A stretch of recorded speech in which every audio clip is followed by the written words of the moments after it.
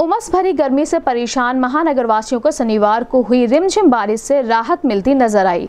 सुबह से ही आसमान में काले बादलों ने डेरा डाले रखा था, लेकिन बादलों की लुका छुपी के बीच दोपहर के बाद हवाओं के साथ रिमझिम बारिश से मौसम सुहाना हो गया।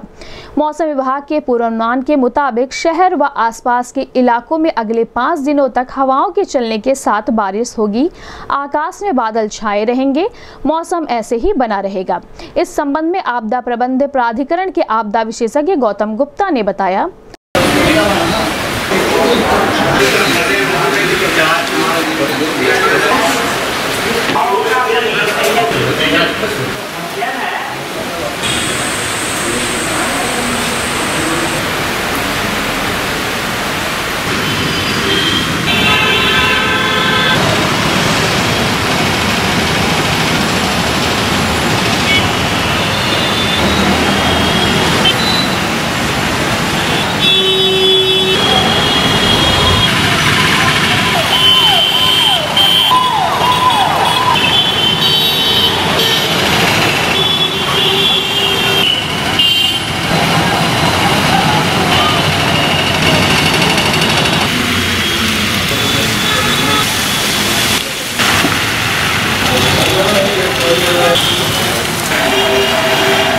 ये मौसम विभाग का है। पश्चिमी उत्तर प्रदेश के लिए इन्होंने जैसे ये जारी किया है, ये हमारे पूर्वी उत्तर प्रदेश के लिए।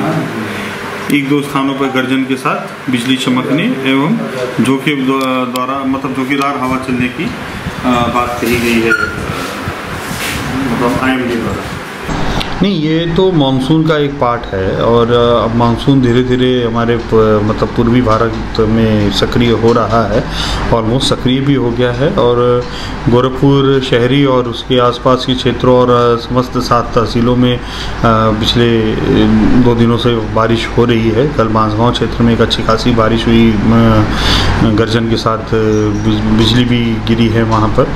तो ये तो मानसून का एक पार्ट है और ये धीरे धीरे अब सक्रिय हो रहा है।